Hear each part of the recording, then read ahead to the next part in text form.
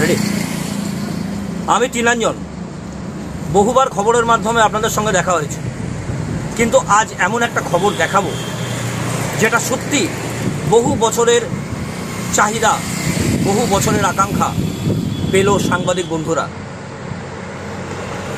আসানসোলের জেলা শাসকের ভবনে এক সাংবাদিক সম্মেলনে আমি মাননীয় জেলা শাসককে অনুরোধ করেছিলাম বিভিন্ন কারণে সাংবাদিকরা কিন্তু ভোট দিতে পারেন না।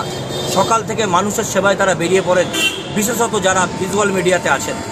তাদের কোনো একটা ব্যবস্থা করলে ভালো হয় পোস্টাল ব্যালট হোক, অথবা তাদেরকে আগে ভোট দেওয়ার ব্যবস্থা করা গেলে খুবই ভালো হয়। কেন অনেকেই ভোট দিতে পারেন না।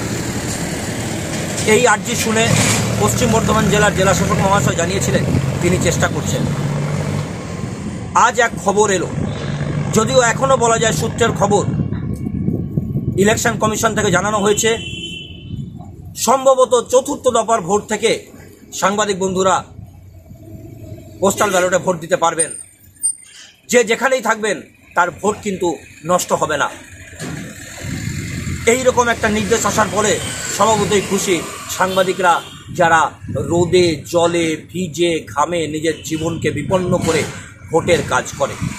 তাই ইলেকশন কমিশন থেকে শুরু করে যারা যারা এই কাজকে এগিয়ে নিয়ে গেছেন সবাইকেই আমাদের আন্তরিক ধন্যবাদ।